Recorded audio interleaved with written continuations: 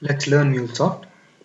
Today I will show you how to configure WebSphere with Mule ESB.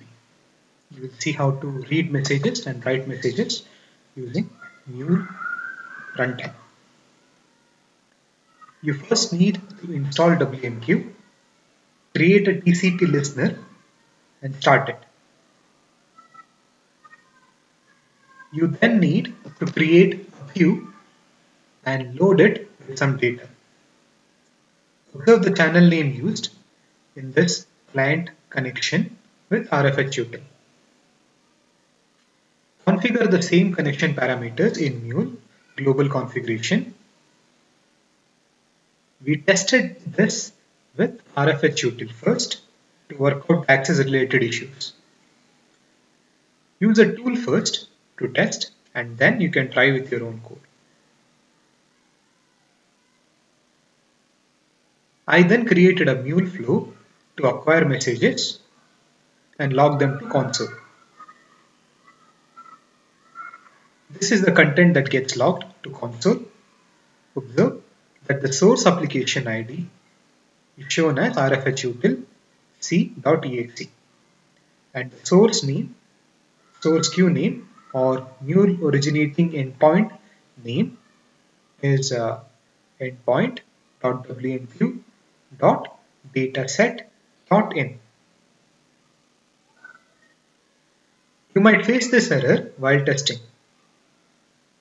This error could occur because of the, uh, of the way that you have configured RFHUtil app. I was able to produce this exception by loading an empty message to queue using RFHUtil. Writing a message to WMQ is not that difficult once you have configured the reading part. Here I have used test.out as our as target queue. If you Mavenize your Mule project, a zip file gets generated by Maven tool. You have to provide libraries of IBM WebSphere MQ to your Mule project